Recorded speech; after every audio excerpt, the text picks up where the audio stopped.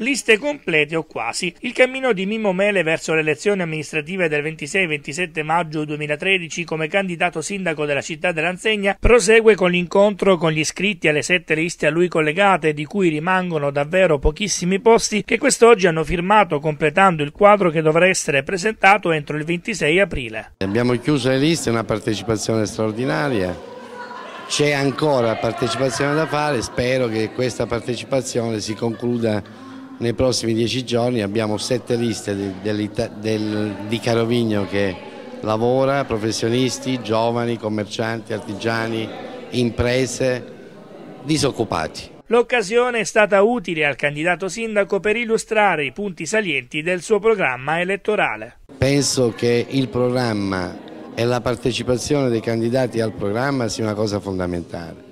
Grazie a amici eh, abbiamo fatto il giro dei professionisti, delle categorie per partecipare il più possibile a questo programma, abbiamo fatto una sintesi e credo che sia uscito un buon lavoro. Una città libera, libera mentalmente di opinione, di libera, culturalmente libera, che sia una città partecipata, che i cittadini possano dire la propria su cose buone fatte, su cose meno buone, però una città sicuramente partecipata e libera.